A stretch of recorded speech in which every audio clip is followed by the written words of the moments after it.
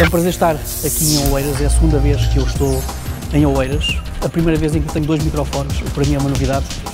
Eu geralmente aos fins de semana só tenho um. Uh, e falar, perguntaste sobre planetas vermelhos. Uh, eu não tenho. E disseste que o Alexandre Quintanilha é um cidadão do, do mundo e que tem planos de ir para, Nova, para Nova Zelândia. Pois eu sou um bocadinho, eu sou um bocadinho mais ambicioso, se calhar um bocado parvo também. Sou cidadão do cosmos e a minha ambição é ter um T3 em Marte há de chegar lá um dia, não se calhar com os preços que são. Espero que pelo menos não sejam os preços que são feitos aqui. Nesta vida, e, e, ah, sabem que há uma pequena brincadeira? Um, eu e o Rui só combinámos muito pouca coisa.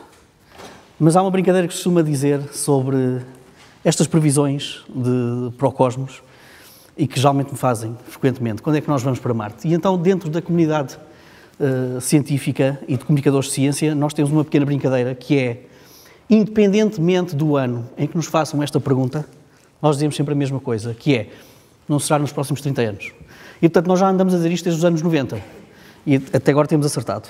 Até agora temos acertado. O Hollywood já chegou há muito tempo. Mas Hollywood vai a qualquer sítio, que é uma coisa louca. Muito bem, vamos começar do princípio. Qualquer pessoa que um livro de ciência eh, lê muito facilmente que o universo foi criado há 13,7 milhões de anos e que tudo estava condensado num ponto, num ponto muito pequeno, também de um átomo, será? Que Todo o universo estava lá. O tempo não existia. Como é que nós sabemos isto? A história do Big Bang, da teoria do Big Bang, é talvez das histórias mais extraordinárias que nós temos. Para já começa por ser a maior, como é óbvio, 13,7 mil milhões de anos. E depois porque é repleta de coisas que nós já sabemos, de outras que nós suspeitamos e de outras que não fazemos a mínima ideia se foi assim ou não, mas que para já o modelo funciona. Para já o modelo funciona. E portanto, disseste muito bem. Eu costumo dizer, eu dou alguns cursos de astronomia também lá no Porto, e eu costumo dizer que a teoria do Big Bang não explica como é que nasceu o universo, ou não explica sobretudo como é que nasceu o universo. Explica sobretudo como é que evoluiu o universo. Porque uh, a unidade temporal mais pequenina, ou a história da teoria do Big Bang começa quando o universo tem 0,0000042 zeros, 1 segundo. E o que eu acho absolutamente notável na teoria do Big Bang é como é que nós hoje conseguimos construir uma história do universo que vai desde 0,00042 segundos até ao nosso tempo. E em que, nessa teoria, nós conseguimos encaixar de certa forma, com alguns graus de certeza e incerteza, o que é que terá acontecido nesse universo. O que é que eu quero dizer com isto? Quero dizer com isto que, de acordo com a teoria do Big Bang, os cientistas conseguem afirmar com algum grau de certeza o que é que foi o primeiro segundo do universo. Conseguem identificar as eras e o que é que aconteceu mais relevante, reparem, só no primeiro segundo ah, Cálculos matemáticos. E não só. Observação também? E não só. E não só. Observação vamos deixar um bocadinho mais para a frente. Porque eu podia estar aqui a noite toda a explicar a teoria do Big Bang e, uh, se calhar, o âmbito desta nossa conversa é muito mais interessante do que só o Big Bang. Mas nós conseguimos identificar várias épocas na teoria do Big Bang uh, em que, no início, de facto, estava tudo muito juntinho, muito quente. Aqui a questão térmica é muito importante. É uma das provas pelo qual nós sabemos ou desconfiamos que a teoria Big Bang está certa. Hum? E conseguimos até dizer que, isto quase parece bíblico, naquele tempo, todas as forças estavam juntas. Todas as forças tinham um ADN que parecia ser exatamente o mesmo para todas as forças que nós conhecemos hoje em dia, as quatro forças fundamentais do universo. Estavam todas juntas. E ainda dentro do primeiro segundo, nós assistimos, de acordo com o modelo do Big Bang, teoria Big Bang, a, a declaração de independência das forças. E essa declaração de independência das forças provocou toda uma série de bons cataclismos, digamos assim, que deu origem depois às partículas que nós conhecemos. Mais do que as partículas, o universo, isso também nos conta a teoria Big Bang, isto são tudo bonecas matrioscas. Conhecem as bonecas russas? E, portanto, tudo isto são pequeninas unidades que depois vão crescendo para formar unidades cada vez maiores. E, no fundo, a grande história do Big Bang é essa. É como é que foi criado, desde o início, a matéria mais elementar, aos quarks, até termos protões, neutrões, eletrões. Como é que esses protões, neutrões e eletrões se uniram? Que condições é que o universo, nessa altura, tinha para se poderem unir para formar os primeiros átomos? Hidrogênio e hélio. E um dos aspectos mais bonitos, mais românticos e ao mesmo tempo, desculpem-me a expressão, mais filhos da mãe para poder explicar por parte de um comunicador de ciência, é precisamente esse segundo primordial. Porque nesse segundo primordial, e vais ver que eu vou responder a essa tua questão, como é que nós sabemos que isto bate certo, de acordo com o modelo da teoria Big Bang, nesse primeiro segundo nós assistimos a uma expansão exponencial do cosmos, absolutamente doida. É a chamada época da inflação. Boa inflação não é dos mercados. É, foi mesmo boa, nós estamos aqui devido a essa época da inflação. Em que, basicamente, o universo passou do tamanho de um átomo, mais coisa, menos coisa, ao tamanho de uma bola de basquete, é em bilionésimos, de bilionésimos, de bilionésimo de segundo. Espera. O universo todo no, no tamanho de um átomo? Sim. Essa inflação essa inflação, eu sei que custa a entender e é, e é terrível para qualquer comunicador de ciência poder explicar uma coisa destas, porque desafia-nos por inteiro. Porque desafia-nos por inteiro as nossas próprias dimensões. Hum? E se eu meter aqui Einstein ao barulho, que no fundo vem glorificar as quatro dimensões do, do, do universo, três de espaço e uma do tempo, explicar quatro dimensões em seres tridimensionais como nós é muito mais complicado ainda. Mas deixa-me deixa situar na inflação porque a inflação é fundamental. O universo passa do tamanho do átomo para o tamanho de uma bola de basquete, em bilionésimos de bilionésimos de bilionésimo de segundo. Agora, de acordo com o modelo do Big Bang, nós também estamos aqui por causa disso. Por causa dessa inflação. Por causa desse salto absolutamente colossal que o universo deu. E uh, essa inflação foi também responsável por nós termos algumas irregularidades naquilo que nós conhecemos como a primeira luz do universo, a radiação cósmica de fundo, e é graças a essas pequeníssimas irregularidades que nós temos nessa primeira luz do universo que nós estamos aqui. Dito de outra maneira, nós somos fruto da irregularidade, de coisinhas muitíssimo pequeninas. Aviso já que é obrigação de qualquer divulgador da astronomia fazer com que vocês saiam daqui deprimidos. E, portanto, esse é um dos, também um dos grandes objetivos que nós temos. Como é que nós podemos testar e perceber isto tudo?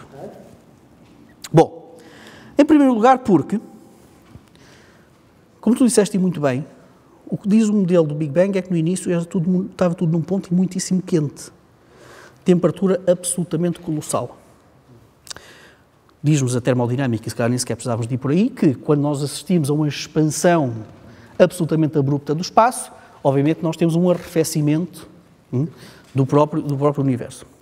É aqui que entra também a primeira luz do universo, que o modelo Big Bang, eu não vou, estar, não vou ser muito exaustivo, consegue explicar muito bem. Essa primeira luz, que nós hoje sabemos mapeá-la, nós já tivemos pelo menos três grandes telescópios uh, espaciais que conseguiram tirar fotografias cada vez mais precisas dessa primeira luz do universo. Hum? Essa primeira luz do universo está a uma temperatura absolutamente baixa, cerca de uh, muito, muito próximo do zero, do zero absoluto, muito próximo dos 273 graus negativos. Termos uma primeira luz está muito fria quer dizer que ela antes estava muitíssimo quente e que ao longo de 13,7 mil milhões de anos hum, demorou esse tempo todo a arrefecer. Bate certo com a cronologia do Big Bang. Hum? Portanto, essa luz e a temperatura dessa luz bate certo com o Big Bang. Uh, e quando essa primeira luz foi descoberta, na década de 60, 1965, foi um dos grandes triunfos da teoria do Big Bang. Porque os astrónomos estavam desesperados à procura dessa primeira luz. Tinham é que estar à espera também da tecnologia para ler essa primeira luz. Hum? Mas havia uma coisa curiosa. Um, a história da primeira luz tem muita piada. Foi, foi detectada em 1965 por dois engenheiros da empresa de telecomunicações AT&T norte-americana, chamada Arno Penzias e Robert Wilson. Eles estavam a testar a sensibilidade de uma antena para melhorar, obviamente, as telecomunicações, quando essa antena, que trabalhava sobretudo no comprimento de onda do micro-ondas, estava a detectar um ruídozinho de fundo que eu imagino que qualquer engenheiro aquilo era absolutamente catastrófico. Filha da mãe daquele ruído. Uma coisa está mal. Alguma coisa está mal. Eles pensaram que podia ser eh, um problema do instrumento. Desmontaram aquilo, andaram a vir aquilo de um lado para o outro. O instrumento estava a funcionar perfeitamente. Pensaram que eram os pombos? Depois vem a questão dos pombos, que é linda. A antena estava com pupu de pombas, pombos. Eles pensaram, será que há alguma propriedade mágica no pupu dos pombos que faz com que eu tenha sempre este ruído? Isso era fácil de fazer. Limparam aquilo, testaram outra vez, o raio do ruído estava lá. O que é que era esse raio do ruído? Era precisamente a radiação microondas da primeira luz do universo. Eles não faziam a mínima ideia que aquilo era do universo, mas ganharam um prémio Nobel por causa disso. Uh, e, portanto, apanharam logo ali uh, a prova de que a teoria Big Bang tem uma certa, tem a sua validade. E neste momento ainda não conseguimos encontrar propriamente grandes falhas. Deixem-me deixem dizer-vos uma coisa que eu acho que é importante. Uh, eu vejo aqui, felizmente, muitas pessoas são mais jovens do que eu, fico muito feliz por isso. O que vocês não sabem é que, infelizmente, vivem numa geração que, sem saber, não conseguiu apanhar essa radiação cósmica de fundo. E agora viram para os vossos pais e avós que possam estar aqui, porque vocês viram. Não sabiam também, tal como o Arno Penzias e o Robert Wilson. Não sabiam, mas estavam. Eu vou explicar. Houve um tempo em que neste país só tínhamos uh, a RTP, que no final do dia passava para a ficha técnica e depois da ficha técnica passava para o estático. Lembram-se daquela coisa preta e branca que fazia um barulho absolutamente infernal? Pronto. 1% dessa estática corresponde precisamente à radiação cósmica de fundo. Portanto, houve um tempo em que a televisão acabava, nós tínhamos os primórdios do, do, do universo. 1% dos primórdios do universo nas nossas televisões.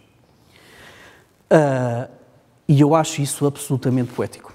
O que nós temos depois, ainda dentro desse primeiro segundo, hum, e depois sendo, no fundo, aos, aos seguintes três minutos, é com a separação das forças fundamentais, com o universo em expansão e ficar mais frio, nós temos o aparecimento dos quarks, os elementos primordiais da matéria. Os quarks depois, eu sei, isto é muito, estou a ser muito simplista, porque é para nós andarmos um bocado mais depressa. Os quarks depois, à medida que o universo vai ficando em menos turbulência, isto aqui é importante, imaginem uma panela de pressão. Hum? Enquanto a panela estiver com aquela temperatura toda, é difícil nós temos ali qualquer coisa de mais palpável que possamos ver. É preciso aquilo ficar um bocado mais tranquilo, com menos energia, com menos temperatura. É preciso isso para depois dos quarks, nós temos os quarks a formarem os protões e os neutrões. E depois, uh, protões, neutrões e depois os eletrões. E, portanto, tudo gira à volta disso. De uma temperatura que vai arrefecendo, vai expandindo e, sobretudo, também a diferenciação das forças. Hum? Claro que depois, pelo meio, entra. Aqui já começa um bocadinho da especulação, porque nós não temos esse retrato por inteiro, hum? Que é. Temos uh, o início do aparecimento de coisas um bocado mais estranhas e que eu sei que tu vais gostar. Que são, por exemplo, a energia escura, que são, por exemplo, a matéria negra, que eu não sei se queres ir já por aí. Força, tira. Que é irritante. No bom sentido. E porquê? Eu não vos vou uh, uh, chatear com a história de como é, que, como é que surgiu a história da energia escura e a história da matéria negra, uh, embora a história seja lindíssima. Mas o que eu vos posso dizer é que, presentemente, e essa é a pergunta que, enfim, também que estava aqui, que era de que é que é feito o, universo, o que nos diz hoje a ciência é que o universo é constituído em cerca de 68% uma coisa chamada energia escura. Em cerca de 26%, mais coisa menos coisa, por algo chamado matéria escura, e reparem como os cientistas são de facto criativos, por natureza, uh, e cerca de 5% daquilo que se chama matéria ordinária, ou seja, a matéria que nós conhecemos um bocadinho melhor. Os átomos, as montanhas, a água, todas essas coisas. Eu costumo fazer muito desta brincadeira nas escolas secundárias, uh, quando me convidam, e que é embaraçar um bocado os professores. Neste sentido. Uh, quando falamos em energia escura e matéria escura, o termo escura diz-nos logo que há ali qualquer coisa absolutamente misterioso. A matéria negra, a matéria negra, e aqui vou mesmo ter que falar um bocado de história. A matéria negra aparece porquê? Porque houve uns senhores astrónomos que começaram a olhar para uh, enxames de galáxias numa primeira uh, instância e depois para o movimento das estrelas dentro dessas galáxias e repararam que as galáxias, sobretudo as bordas dos enxames, apresentavam velocidades tão, tão elevadas, tão elevadas que, à luz da ciência que nós conhecemos, as galáxias não podiam estar aí. Já tinham fugido do enxame. A velocidade era tremenda. Ou seja, nós sabemos que a gravidade é uma força, hum, obviamente depende da massa, e portanto, quando tiver mais massa, mais gravidade dá, e portanto, não haveria ali massa suficiente para poder agarrar a velocidade doida daquelas galáxias que estão nas extremidades. Ora, esse resultado foi apresentado, não criou propriamente grande celeuma na comunidade científica, que olhou para aquilo como quase fosse uma coisa meio esotérica. Muito bem. Depois começaram a olhar para a velocidade das estrelas que estão nas zonas mais afastadas do núcleo de uma galáxia. E acontecia rigorosamente a mesma coisa. A velocidade daquelas estrelas era tão elevada que tinha que haver muito mais massa do que aquela que estava dentro da galáxia para elas não fugirem. E, portanto, isto tem piada. E tem piada porquê? Porque nós conseguimos medir a massa daquilo que nós conhecemos.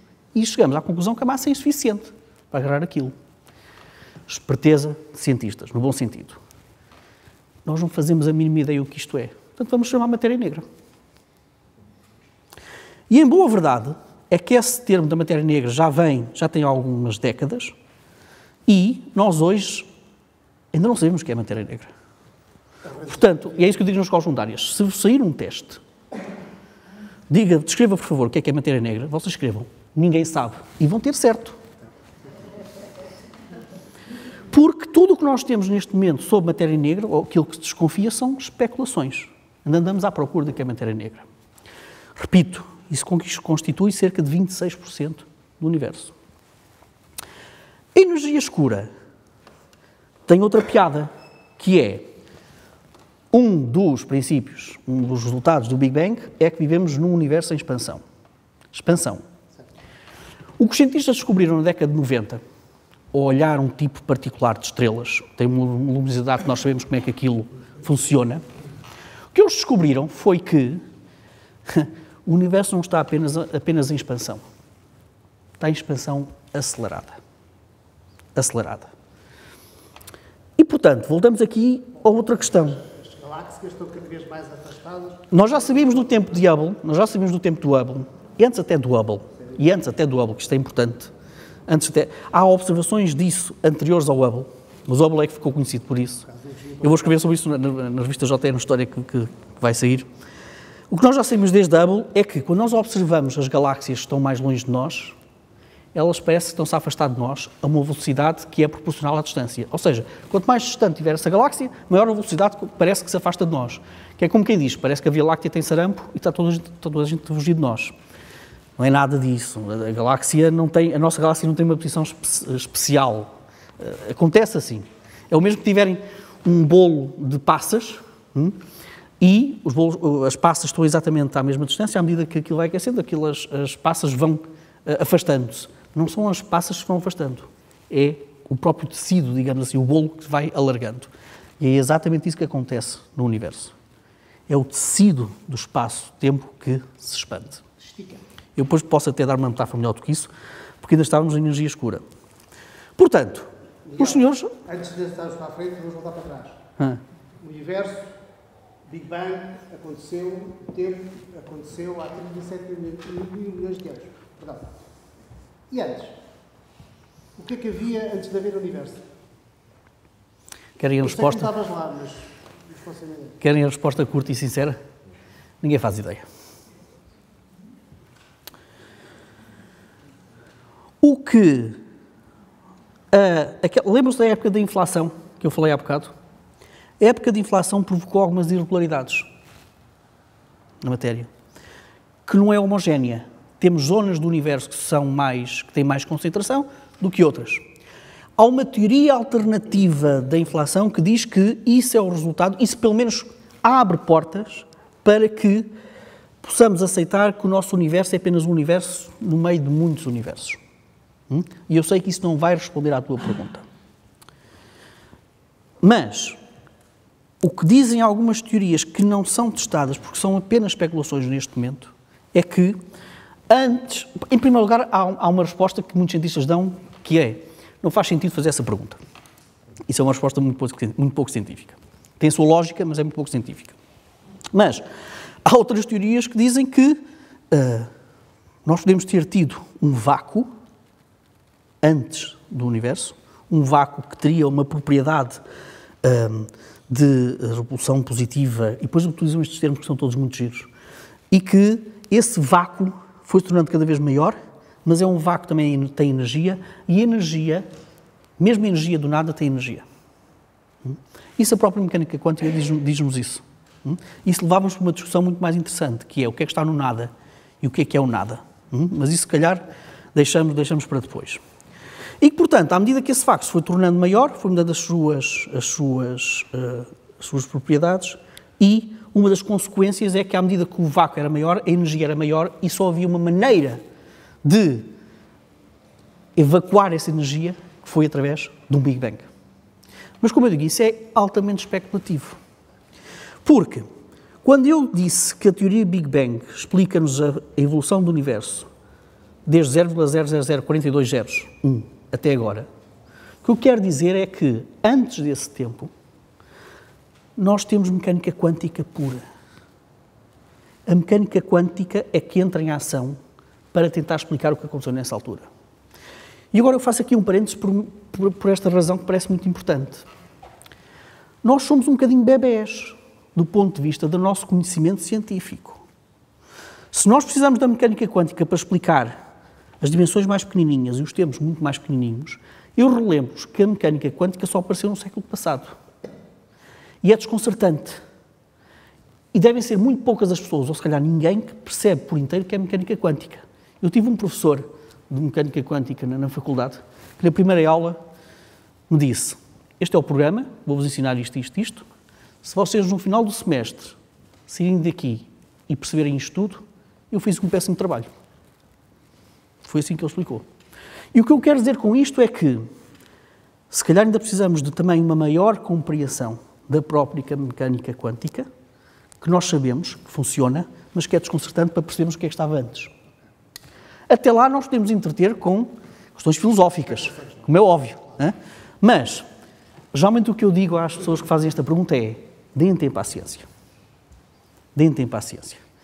A ciência não é dogmática, é precisamente o oposto. E, portanto, à medida que vamos evoluindo, talvez consigamos. E, sobretudo, à medida que tivermos melhores instrumentos para perceber o cosmos, talvez consigamos ter outro tipo de respostas. As primeiras estrelas vão ter muito importante. Uh, em primeiro lugar, quero-vos dizer que nós temos, neste momento, astrónomos portugueses que, com trabalho de extraordinária, extraordinária qualidade sobre o que foram os primeiros tempos do universo. As primeiras estrelas do universo. Isso é um pormenor que me parece importante dar aqui. e que eu às vezes gozo muito na RTP com esta questão, não é gozar, é provocar, e faço-o propositadamente. Uh, nós habituámos, graças a um selecionador uh, português, brasileiro, a colocarmos uma bandeirinha na nossa varanda sempre que a seleção portuguesa fazia um grande, um grande resultado.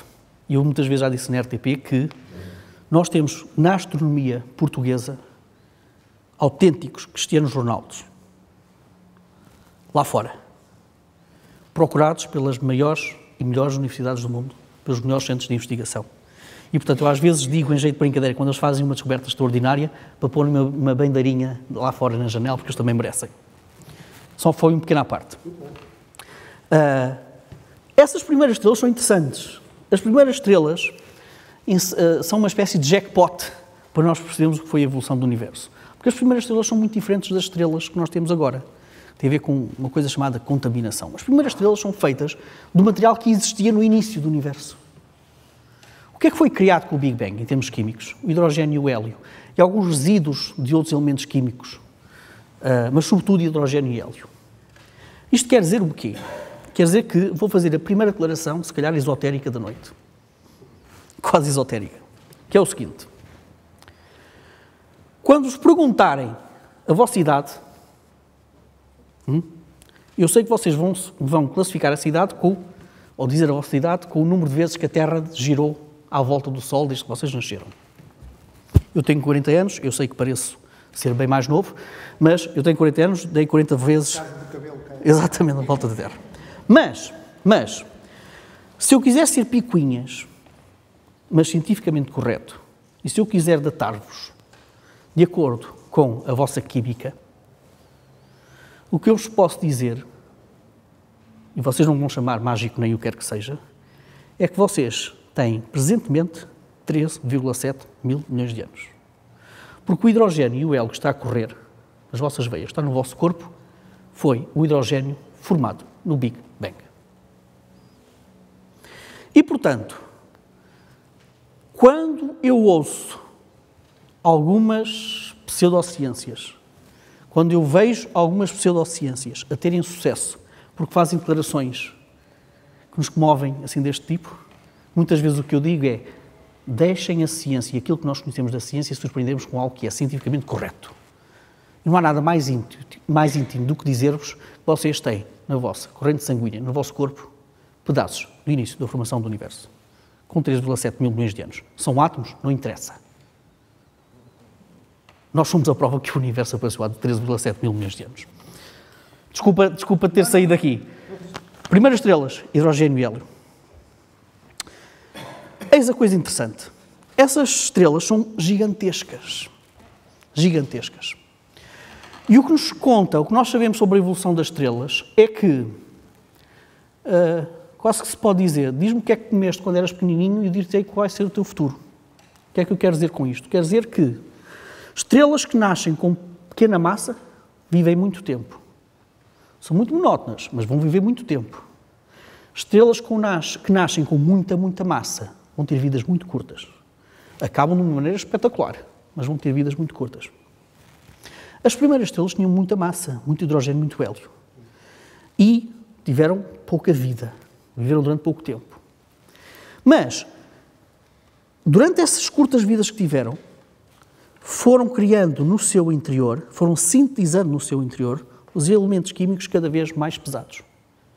Hidrogênio, portanto, são hidrogênio e hélio, carbono, oxigênio, todos esses elementos mais pesados.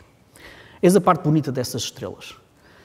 Um, explodiram e lançaram para o cosmos esses elementos pesados. As primeiras estrelas tiveram que morrer daquela maneira para que as estrelas que, viesse, que vieram a seguir tinham na sua constituição hidrogênio e hélio, mas também elementos pesados. Alguns elementos pesados. E, portanto, é à custa da constituição química das estrelas que nós conseguimos ver se elas pertencem a gerações mais antigas ou mais novas. O nosso Sol não é das mais antigas, temos 4,5 mil milhões de anos, e, portanto, nós conseguimos ver pela constituição química do nosso Sol que não foi das primeiras estrelas. Uh, ainda bem, portanto, também nós não estaríamos aqui, diga-se passagem. E, e, e, e, portanto, a história do universo e da evolução das estrelas é também uma história de vida e morte, em que se calhar é muito difícil nós definirmos o que é a vida e a morte no universo. As estrelas tiveram que morrer para nós estarmos aqui. Uh, eu peço desculpa se isto vos faz lembrar alguma mensagem uh, cristã, não, tem, não, é essa, não é essa a minha intenção, mas as estrelas têm que morrer, tiveram que morrer para nós estarmos aqui. E, portanto, lançam para o universo aqueles elementos químicos que depois dão origem, olha, às paredes que nos rodeiam, por exemplo. Tudo. Novos planetas, formam novas tudo. estrelas. Novas estrelas, novos planetas, cometas, asteroides, tudo mais alguma coisa. Nós somos filhos das estrelas. Nós somos atomicamente filhos das estrelas. Nós dependemos das estrelas. E o universo continua a expandir-se e continua numa expansão acelerada. Acelerada. Onde é que está a parar? Não vai. Não vai. Eu não sei quando o Benfica for pentacampeão, mas isso são, são outras histórias. Os dados que nós temos hoje em dia mostram-nos que, ou pelo menos nós não conhecemos nenhum mecanismo, nenhuma entidade que esteja a contrariar a expansão acelerada do cosmos. Dito de outra maneira, se isto continuar assim, com esta expansão acelerada, daqui a alguns milhares de milhões de anos, um, o, universo, o universo vai ser muito diferente daquilo que nós vemos, que nós conhecemos. Vamos vamos passar a ter galáxias que são ilhas autenticamente perdidas no universo. Porquê? Porque a expansão é de tal maneira acelerada que vai chegar a uma altura, se isto continuar assim, em que a galáxia mais próxima de nós já estará lá muito para lá da capacidade dos nossos telescópios. Dito de outra maneira, os astrónomos dessa altura vão ter a vida muito mais facilitada, porque só têm praticamente a nossa galáxia para ver. Mas, portanto, à luz daquilo que nós sabemos neste momento, a expansão é acelerada e não há nada que esteja a contrariar essa expansão acelerada. O universo, se se mantiver assim, vai ter uma morte termicamente fria. As estrelas vão se apagando uma a uma. Sim, porque as estrelas têm datas de validade. Isso é outra parte interessante. Não é? As estrelas têm data de validade. Nós sabemos que a nossa estrela, daqui a 4,5, 4,6 mil milhões de anos, um, vai deixar de existir. Nós também, se não sairmos de cá. Uh, uma estrela como o nosso Sol vai inchar. Uh, e porquê que vai inchar? Porque as estrelas são extraordinários jogos de equilíbrio de poder.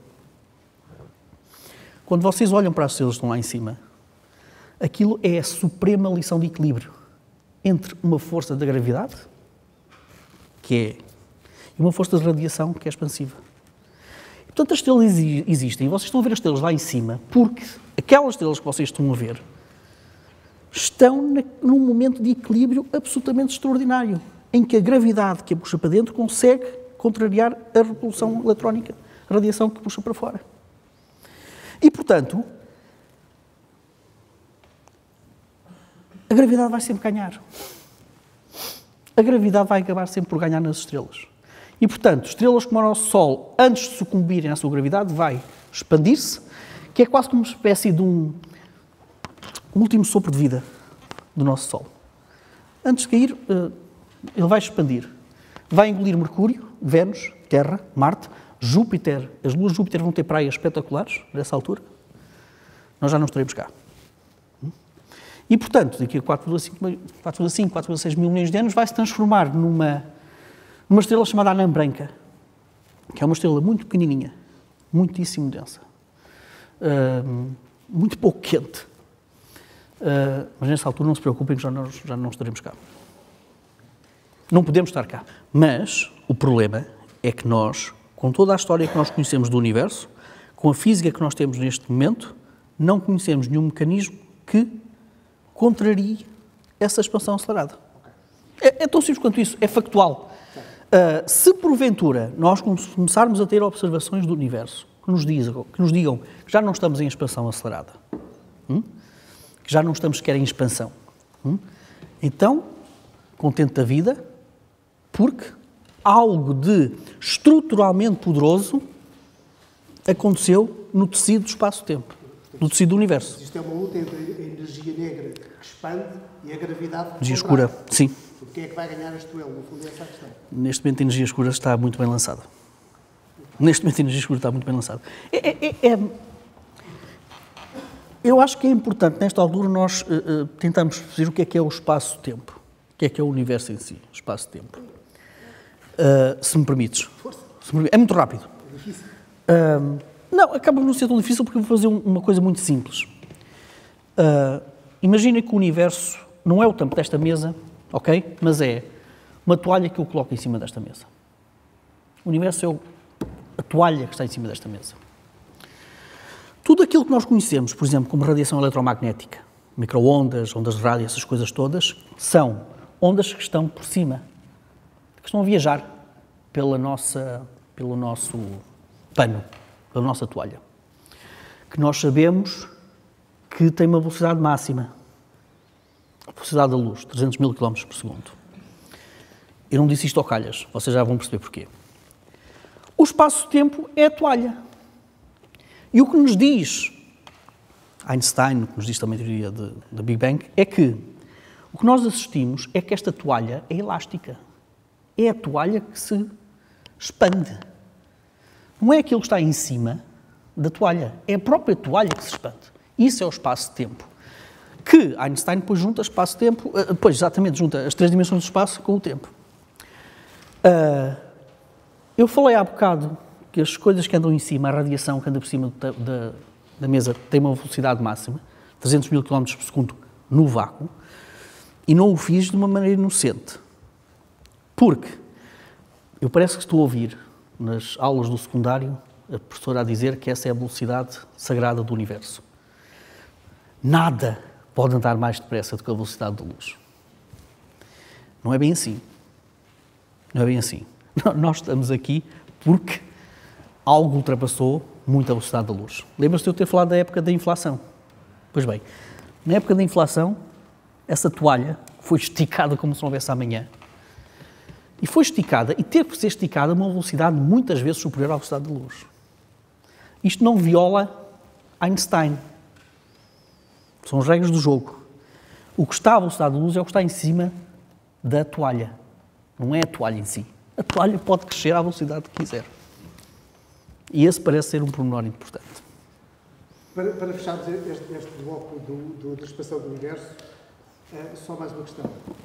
Este universo que nós conhecemos existe porque no, no, Big Bang havia um conjunto de condições de temperatura muito específicas para que ele acontecesse.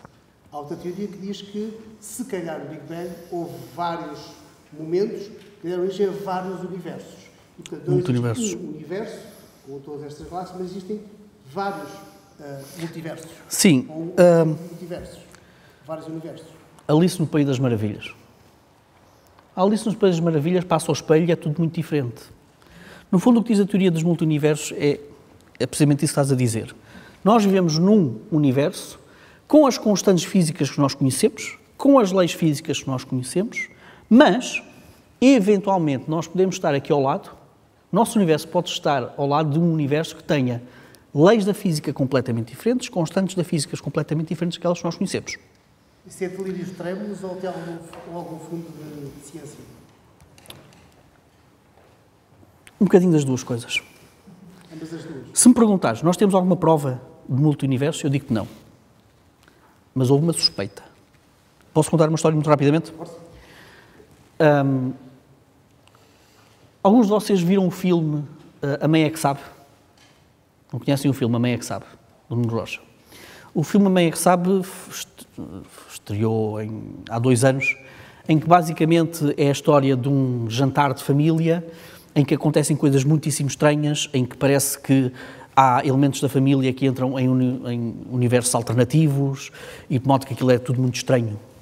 É um serão muito estranho, basicamente. Uh, o realizador chama-se Nuno Rocha e Uh, ele, na altura, contactou-me, uh, devido à minha rubrica na RTP, e disse que me queria apresentar o argumento, porque ele precisava de uma coisa louca, mas que fosse minimamente plausível do ponto de vista científico, para explicar aquelas realidades alternativas que aquela família estava, estava a ter. Eu olhei para o argumento, uh, que tinha coisas absolutamente doidas, doidas do ponto de vista científico, e o que eu disse ao Nuno Rocha foi Epá, se isto é para a loucura, então vamos fazer o seguinte. Tu vais dizer, ou vamos imaginar que naquela altura em que se dá o, serão da família, há um choque de dois universos. Lá está, a teoria do multiverso. Há o choque de dois universos e que isso altera a realidade dessas coisas todas. E porquê é que eu lhe dei essa sugestão do choque dos dois universos? Porque em teorias muito especulativas sobre isso, dizem que se nós tivermos o choque dos universos, isso deixa umas marcas naquela primeira luz que eu falei, a radiação cósmica de fundo. E que, portanto, de alguma forma, há uma impressão digital disso na radiação cósmica de fundo. Eu estava seguro, do ponto de vista científico, seguro neste sentido. Isto é completamente louco, delirante, mas, pelo menos eu sei que houve cientistas loucos que apresentaram uma, algo minimamente racional para explicar isto. E, portanto, eu estava seguro. Que é como quem diz, isto nunca vai acontecer, portanto, isto é ficção científica e isto entra como um filme de ficção científica. O filme estreia, ele aceitou a minha, minha sugestão, eu descansadinho, a pensar que jamais alguma vez isto vai acontecer. Dois meses depois da estreia, eu vejo uma notícia que eu acho que veio da Royal Astronomical Society, já não me lembro, do Reino Unido, em que dizia logo assim: cientistas descobrem impressões na radiação cósmica de fundo podem dar a entender que estamos perante o choque do universo. E eu olhei para aquilo, mandei uma mensagem para o Nuno Rocha a dizer: Isto é uma porra. Às vezes a realidade é muito mais estranha do que a ficção. Eu julgava que estava a jogar à defesa com esta coisa toda e aparece isso. Por acaso foi um falso alarme. Por acaso foi um falso alarme.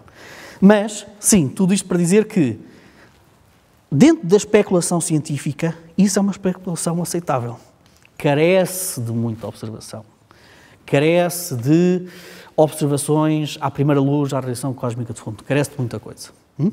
Se isso acontecer, a ciência só tem um caminho: é aceitar. Ponto final. Eu não queria que vocês saíssem daqui deprimidos, mas. Hum, a Odisseia a Marte é algo que nós podemos ver do ponto de vista tecnológico, do ponto de vista humano, do ponto de vista político. Não se esqueçam quais é, quais é que foram as motivações da humanidade que tivemos até hoje para sair de cá. O que é que foi a corrida à Lua? Foi um desígnio científico? Tretas. Foi uma corrida de 100 metros para ver qual, qual das duas grandes potências chegava lá primeiro. Portanto, Lua foi uma questão política. Ok? O que é que nos motiva a ir a Marte? Qual é o fuel? Qual é o combustível? Hoje veio uma, num dos portais de, de, de astronomia, fala-se, há um artigo muito interessante sobre será que a China vai uh, criar uma nova corrida espacial uh, a Marte? Eu acho isso tão deprimente. E vou-vos dizer porquê. A mim custa muito aceitar que o fuel que nós precisamos, que a humanidade precisa para explorar outros mundos, sejam as nossas rivalidades entre, cá dentro. Ponto número um. Ponto número dois. Nós temos a tecnologia para ir a Marte. Nós temos tecnologia, nós temos tecnologia com humanos para ir a Marte. Nós sabemos como construir colónias em Marte. Nós até sabemos como plantar batatas em Marte. Nós sabemos essas coisas todas. Porque é que ainda não fomos lá? Em primeiro lugar, dinheiro. Em segundo lugar, motivação. Há um terceiro que eu saliento sempre, que eu acho que é um dos mais importantes, que é o seguinte. Um dos maiores obstáculos para, presentemente, para a nossa aventura espacial está localizado em nós próprios. Como assim? O nosso próprio corpo humano. O nosso próprio corpo humano.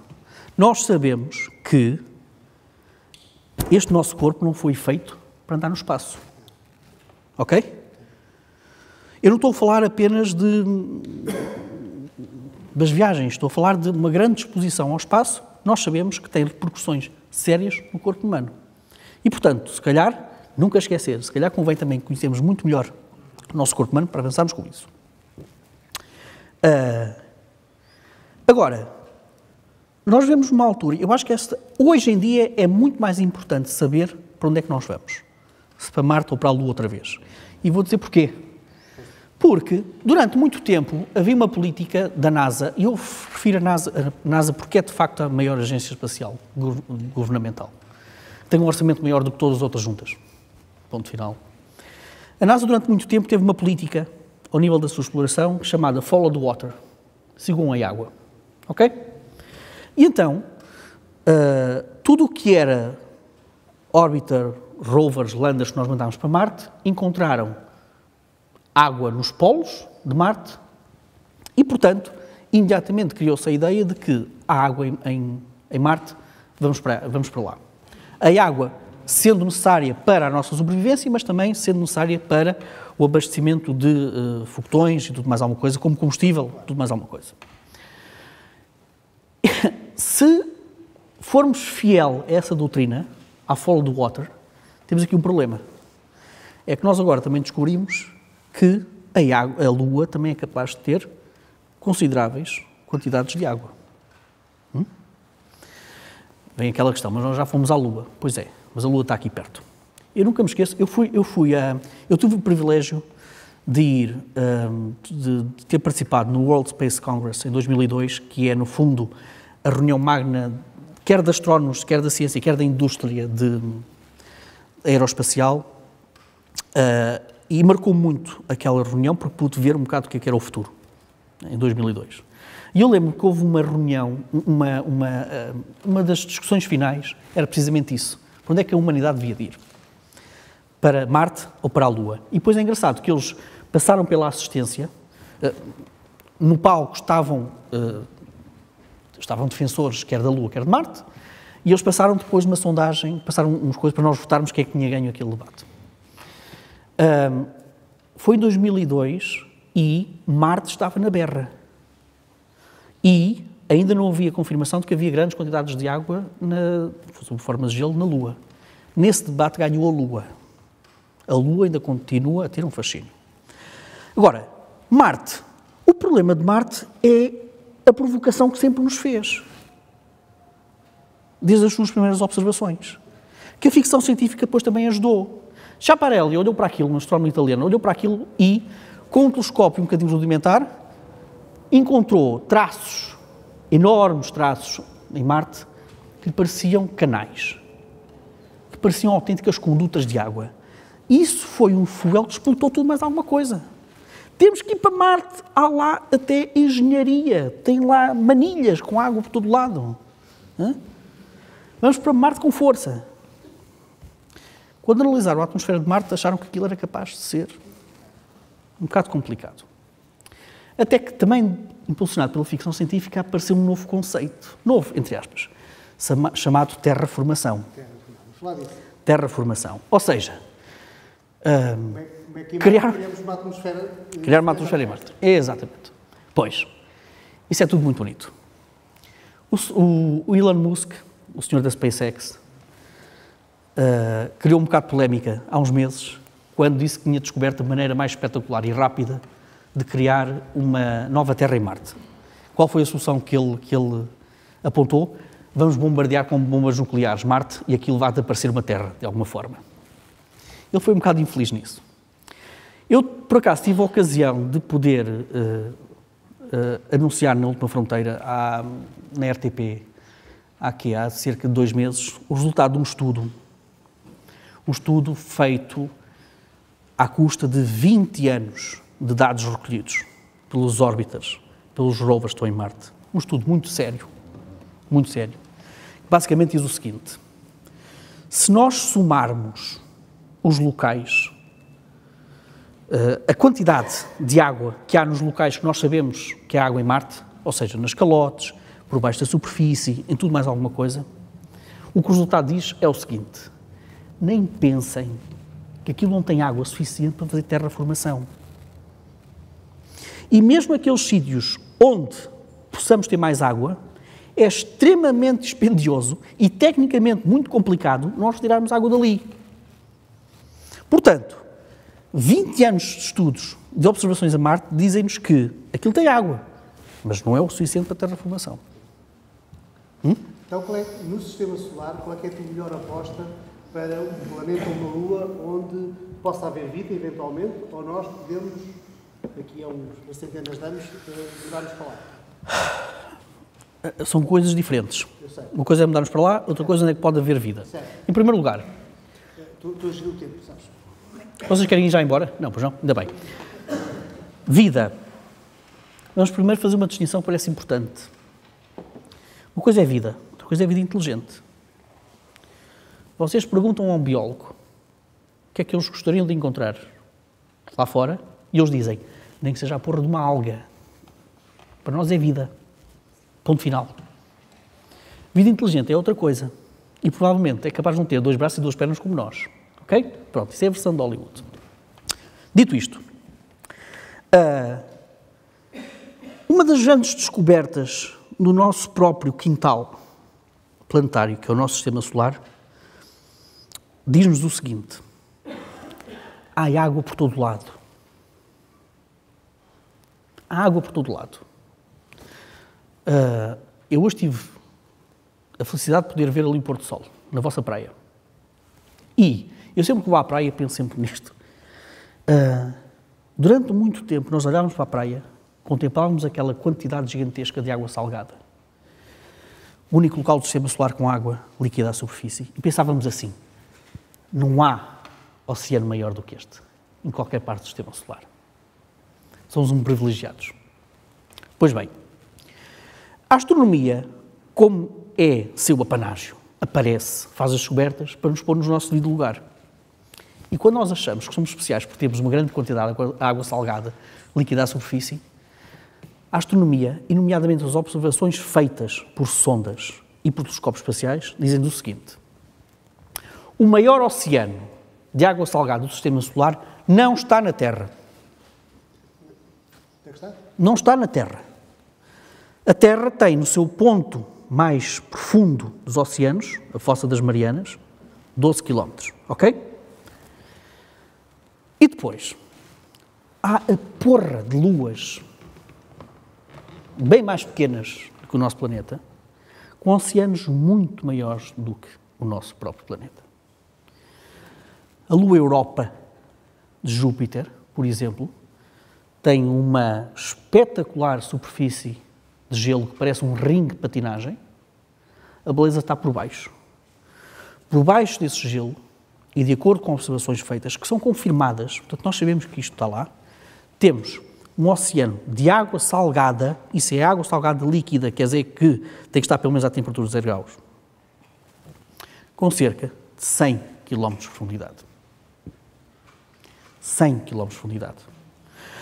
E as observações feitas por sondas que andaram por lá, mas também que andaram por Júpiter, por Saturno, dizem-nos que nós hoje sabemos que Europa tem esse oceano, sabemos que Encélado, Encélado uh, tem também um oceano com uma profundidade muito maior que os oceanos da Terra, e desconfiamos que também há oceanos, ou pelo menos houve oceanos, congelados ou não, em sítios tão distantes como, por exemplo, Plutão, nos confins do Sistema Solar.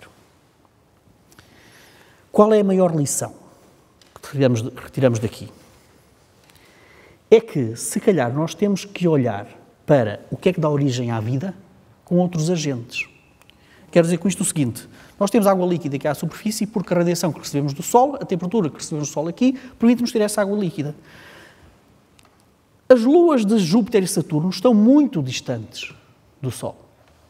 Não têm nenhum aquecimento feito pelo nosso Sol. Não vão buscar aquecimento direto, digamos assim, a Júpiter ou Saturno. Eles refletem a luz. Então, se nós estamos a dizer que há um oceano líquido por baixo das superfícies gélidas, o que é que está a aquecer por baixo dessas superfícies gélidas? E eu acho que aí é que encerra o um novo paradigma. Também pode ser, pode ser uma ajuda para a astrobiologia. O que torna aqueles oceanos líquidos e não gelados, porque logicamente teriam que ser gelados, hum? é a gravidade. São as marés gravitacionais. Estas luas orbitam planetas muito grandes que agitam gravitacionalmente estas luas no seu interior. Imaginem o que é um, um, um clipe e vocês estão sempre a fazer assim ao clipe. Hum? No ponto em que vocês estão quase a quebrar, aquilo está quente. É exatamente isso que acontece por baixo dessas luas. Aquilo aquece e cria oceanos. E nós sabemos que na Terra, se aqueles oceanos estivessem aqui na Terra, nós sabemos que os oceanos teriam vida. Porque as descobertas mais recentes que fizemos, fizemos sobre esses oceanos é que, para além de serem, serem líquidos, e portanto são aquecidos, há uma outra coisa fundamental. Eles têm fontes hidrotermais. Temos transportes de energia desde o núcleo dessas luzes até quase à superfície. Portanto, temos água, temos elementos, hum, temos elementos que nós sabemos que dão origem à vida e temos transporte de energia. E, portanto, o que o próprio sistema solar nos diz é que esqueçam lá essa história de que vocês têm que estar a uma temperatura amena, a uma distância amena da vossa estrela. Nos confins do sistema solar, temos uma maneira de aquecer o interior das luas e de que há condições para ter vida. Um, e, portanto, se me perguntarem quais são esses locais para encontrar vida, Eu diria Europa, eu diria Ganimedes, Calisto. Uh, nós temos um planeta anão, agora é planeta anão, antes era considerado o maior dos asteroides, chamado Ceres, que está na cintura dos asteroides, entre Marte e Júpiter. Uh, há suspeitas cada vez mais fortes de que aquilo ou teve, ou ainda tem também, um oceano por baixo da superfície. Uh, que, que, portanto, vai ao encontro daquilo que eu estava a dizer há bocado. Nós estamos a descobrir água por todo o lado. E se um dia descobrirmos vida, provavelmente um fungo, uma alga, uma bactéria, qualquer coisa, o que é que acontece? Que impacto é que isso tem na forma como nós pensamos as coisas e nos organizamos aqui neste planeta azul? Vai sempre ser diferente se estamos a falar de vida ou de vida inteligente, não é? Se for vida, uh, aí vai haver quase uma deslocação de orçamentos para irmos lá o mais depressa possível e ver o que é que é aquilo. Hum? Se for vida inteligente, e vamos partir do princípio que o nosso sistema solar não há outra vida inteligente que não a nossa, pelo menos não temos nenhuma provas disso, então aí há claramente uma revolução científica, filosófica, hum, religiosa, eventualmente, hum, e que nos confronta com esta realidade. Repara, repara uma coisa que eu acho que é muito interessante. Há coisa de três semanas, a NASA deve, uh, realizou uma conferência e nessa conferência ficou decidido, entre aspas, que ia haver uma alteração no método de procura de vida inteligente lá fora. Nós até hoje estávamos numa posição em que estávamos com os nossos radiotelescópios a ver se alguém estava a mandar alguma mensagem para nós ou se nós captávamos, imaginem, os sinais de televisão de uma qualquer civilização extraterrestre. O que a NASA agora diz é que não, nós vamos à procura de aquilo que eles chamam de tecnoassinaturas. O que é que são tecnoassinaturas? Com a tecnologia que nós temos presentemente, vamos ver se encontramos nestes planetas mais de 3 mil que nós conhecemos, ou outros que nós venhamos a conhecer, alguma prova de que uma qualquer civilização anda por lá. Dito de outra maneira, imaginem que nós encontramos um exoplaneta em que temos ali, conseguimos ler pela sua atmosfera que tem ali uma grande poluição atmosférica. Na Terra, nós sabemos que essa poluição atmosférica pode ser criada por nós humanos. Hum? E, portanto, é uma maneira diferente de podermos olhar por civilizações lá fora. E eu tenho uma desconfiança. Eu tenho uma desconfiança que vos garanto que é tudo menos científica. É por intuição. De que, quando nós descobrimos, ou se descobrimos estas tecnoassinaturas, nós, se calhar, vamos encontrar estas tecnoassinaturas em muitos outros planetas e muito rapidamente. Em que é que eu me baseio? Quer dizer o quê? Em que é que eu me baseio para dizer isso? É que a descoberta em, em, em, na astronomia tem sido feita quase às catadupas. Quero dizer com isto o seguinte: eu, quando entrei no curso de astronomia, em 1996, na Faculdade de Ciências da Universidade do Porto, no ano anterior, só no ano anterior, 95, é que tinha sido anunciado o primeiro exoplaneta em 95. Estamos em 2018 e já conhecemos mais de 3 mil exoplanetas. Planetas fora do Sistema Solar. Fora do Sistema Solar. Nós hoje já conhecemos mais de 3 mil. Ou seja, apesar de tudo, num curto período de tempo, nós estamos a descobrir mundos como se não houvesse amanhã. Há duas semanas, eu estava no Jornal 2 a falar sobre a eventual descoberta da primeira exolua, a primeira lua fora do sistema solar. Provavelmente, com a evolução da tecnologia, o que nós vamos descobrir é catadupas de exoluas. É isso que nos conta a história. Hum? E, se calhar, isso vai também acontecer com as tecnoassinaturas. À medida que nós vamos refinando a nossa capacidade tecnológica, nós vamos tendo cada vez mais aptidões tecnológicas para descobrir isso. Porquê é que eu acho que isso é inevitável? Eu não vou dizer a resposta mais óbvia e poética que encontramos no contacto do Carl Sagan, em que ele dizia que tem que haver vida lá fora, porque senão isto era um grande desperdício de espaço. Eu também concordo com isso.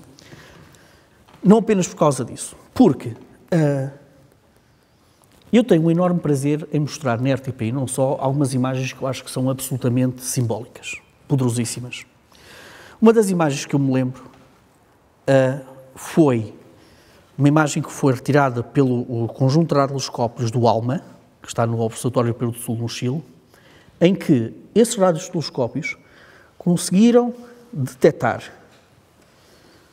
perto de uma estrela muito bebê, com planetas muito bebés, enormes quantidades de água. Foi uma ecografia quase. É quase como estarmos a tirar uma ecografia de uma grávida. Exatamente a mesma coisa. E eu achei aquilo muitíssimo poderoso por uma razão muito simples. O que aquela foto nos estava a dizer era que uh, a matéria, os elementos necessários para a vida, aparecem muito cedo na formação de uma estrela, na formação dos planetas. E, portanto, é muito azar para este universo se esses elementos, tijolos que aparecem tão cedo, tão cedo não evoluam depois para algo como uma vida uh, inteligente. E, portanto, enquanto nós não descobrirmos essa vida inteligente, uh, já temos muito com que nos entreter com os exoplanetas que já descobrimos. Porque isso também é uma história muito interessante. À medida que nós vamos descobrindo outros planetas e as características desses exoplanetas, os astrónomos ficam a coçar a cabeça. Porquê? Conto-vos muito rapidamente, se tivermos tempo. Sim. Três exoplanetas, dos 3 mil. Vamos começar logo pelo primeiro. Em 1995, antes de 1995, nós pensávamos que os sistemas planetários eram todos parecidos com o sistema solar. Calha bem, porque é o único que nós conhecíamos naquela altura. O que é que isso quer dizer? Quer dizer que nós tínhamos planetas pequenos e rochosos perto da estrela, Mercúrio, Vênus, Terra, Marte, e que depois teríamos planetas gasosos grandes atrás, Júpiter, Saturno, Urano, Neptuno. Plutão é sempre um bocado, um bocado esquisito no meio disto tudo, mas pronto. Era assim que nós pensávamos que eram sistemas planetários. Pequenos e rochosos à frente, gasosos gigantes atrás. Isto tem muita piada, porque em 1995, quando foi descoberto o primeiro exoplaneta, foi um filho da mãe de um exoplaneta que não é nada daquilo que nós tínhamos encontrado no nosso sistema solar. Era aquilo que os astrónomos chamam um Júpiter quente. Ou seja, era gasoso e estava perto da estrela. Nós não conhecemos nada disso no nosso sistema solar. E, portanto, foi uma maneira do cosmos dar um estalo aos astrónomos. É dizer, voltem para os quadros, para os computadores, tentem arranjar outra maneira, porque este exoplaneta existe e não é nada parecido com aquilo que nós temos no sistema solar. Esse foi logo o primeiro. Anos mais tarde, foi quê? Há 5, 6 anos, já não me recordo, apareceu um outro exoplaneta muito curioso tinha cerca de 17 vezes a massa da Terra. 17 vezes a massa da Terra, 17 vezes o diâmetro da Terra e com uma idade estimada de 11 mil milhões de anos. Calma, porque é que isto é importante? Foi mais um estalo que os astrónomos levaram. Porque, com os modelos que nós tínhamos sobre a evolução dos planetas, qualquer planeta que tivesse mais do que 10 vezes a massa da Terra teria que ser gasoso. O raio deste planeta era rochoso. 17 vezes a massa da Terra e era rochoso. Os astrónomos ficaram tão chateados com aquilo e deram com o nome giro. Era, passou a ser chamado como o Godzilla dos exoplanetas. Não temos nenhuma explicação porque é que o planeta com aquela massa é rochoso. Continuamos a coçar a cabeça, ainda não temos explicações para aquilo. Depois, apresento um outro classe de exoplanetas que chateia muito os astrónomos. Chateia no bom sentido, encarem isto como uma boa chateação que este, este exoplaneta ficou conhecido como poltergeist. E porquê? Porque o raio do exoplaneta não devia existir. Foram, nós hoje conhecemos três ou quatro exoplanetas deste tipo, são planetas que orbitam pulsares. O que é que são pulsares? Quando uma estrela de grande, grande, grande massa morre, explode, uma supernova, uma explosão absolutamente extraordinária. E os restos dessa explosão é uma estrela muitíssimo densa, extremamente densa, que, se estiver a girar muito rapidamente sobre si própria, chama-se pulsar. Decorem aquilo que eu disse há bocado. Antes de tornar o pulsar, é uma estrela de grande massa que explode. Explode e leva tudo à frente. Portanto, se encontraram um exoplaneta à volta de um pulsar, ele não deveria ter existido.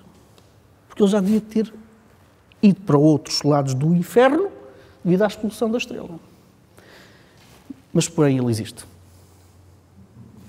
E, portanto, temos aqui três contos, três exoplanetas, que nos mostram que o cosmos dá-nos um estalo aos astrónomos quando eles pensam que estão muito seguros sobre a formação e o nascimento de exoplanetas em particular. Uh, eu acho esta história interessante porque há duas semanas, quando eu anunciei a questão da descoberta da eventual exolua, a primeira exolua, sabem, que, sabem uma coisa engraçada? É que se esta exolua existir mesmo, de acordo com os modelos que nós temos sobre a formação das luas, ela não deveria existir. Porque estamos a falar de uma lua do tamanho de Neptuno, tão grande como Neptuno, que orbita um planeta que é do tamanho de Júpiter. Nós não conhecemos luas no nosso sistema solar do tamanho de Neptuno. Porquê? Porque nós temos algumas teorias sobre como é que se formam as luas, e dentro dessas teorias, nenhuma teoria diz que uma lua tem que ser do tamanho, pode ser do tamanho de Neptuno. E, portanto, se calhar, estamos a ter uma sensação de déjà vu. Primeiro exoplaneta é um Júpiter quente que nós não conhecemos em parte nenhuma. A primeira exolua, se for confirmada, não deveria existir. Ou melhor, nós não conseguimos explicar o que é que ela existe. E por isso é que é tão apaixonante tudo isto.